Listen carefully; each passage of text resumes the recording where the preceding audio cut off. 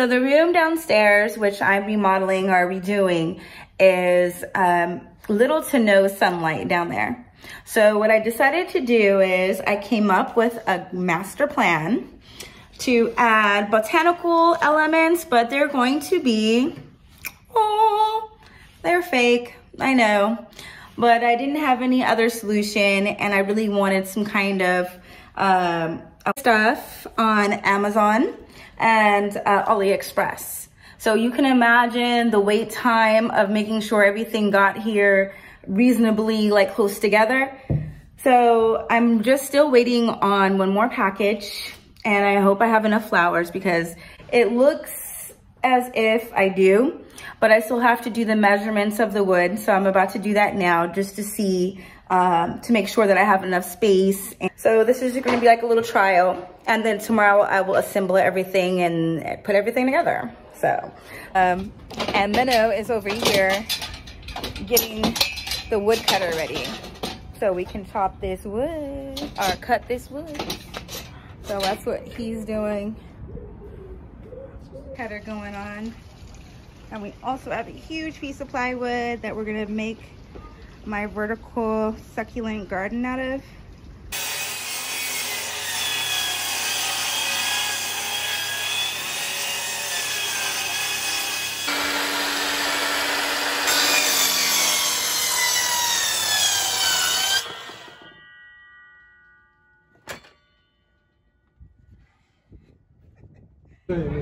We're about to go into the house now. But look at the mess we made. We have a little bit of a mess. I will have to come out here and clean up, but that is going to happen in May. I will be redoing my vertical garden outside. So you're gonna have to wait for that one because it's not warm enough yet, but I will be redoing all my containers there before and after picture on there and then also um, what I had up last last year. Basement now, and the measurements weren't accurate, so we ended up having to do a little bit more cutting when we bought it down. Yeah, there we go.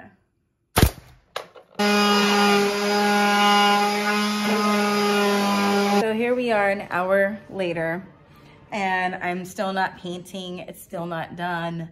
This is becoming such a drawn out process. Ah, I'm just so fed up. But on a good note, rocks just got delivered Saturday at like, what, seven o'clock or maybe six.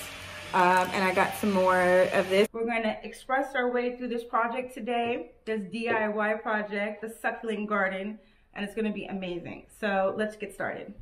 First things first, I'm going to, I kind of organize how I want the flowers to be placed. So I have some kind of idea, a sense of direction. So I'm gonna start with the big flowers first. Add some Amazon jungle in there.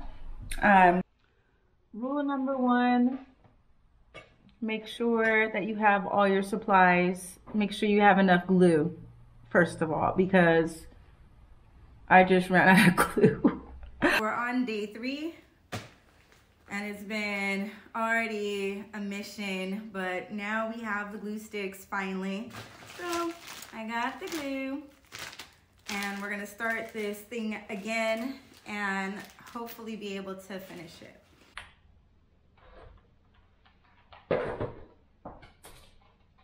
I'm gonna have some cleaning to do tomorrow.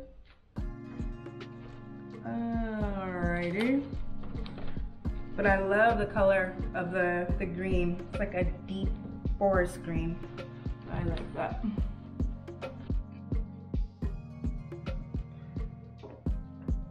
So placement is everything. And we want to see, maybe I'll put rocks there, I'm not sure. But no, I think the flower is gonna look really nice there.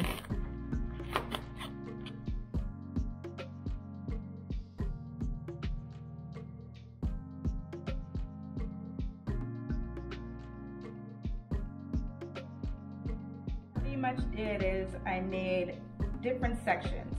So right here, I'm working with dark green moss, and here I'm working with the light green moss.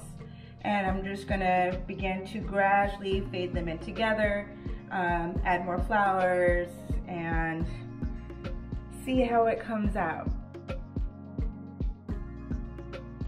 It's coming together great. I mean, it's really something putting and adding and uh, just making something happen, making something out of nothing is super cool. I'm kind of proud of myself right now. I begin to gradually fade them in together, um, add more flowers, and see how it comes out. So we have these I'm about to put these somewhere, not sure where yet, but we're gonna find a place.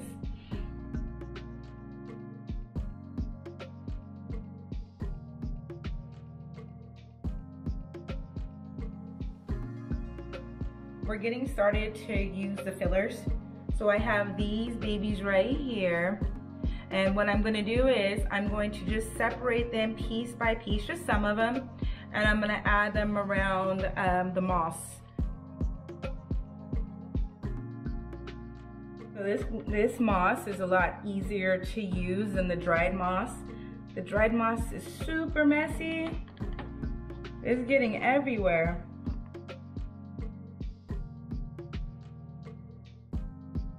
I was really in panic mode. I really thought that I had no more light green moss and it has to be balanced because I have the light green here and that would be kind of strange if I didn't have light green here.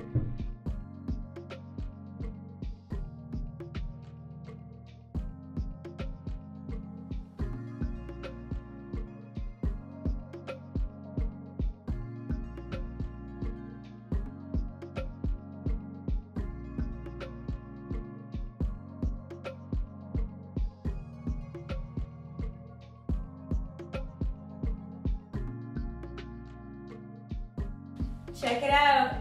Check it out.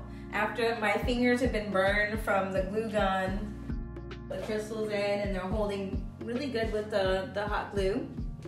Here, here. Those are real air purifying plants that I found. So I'm just gonna take them out like this and, and just water them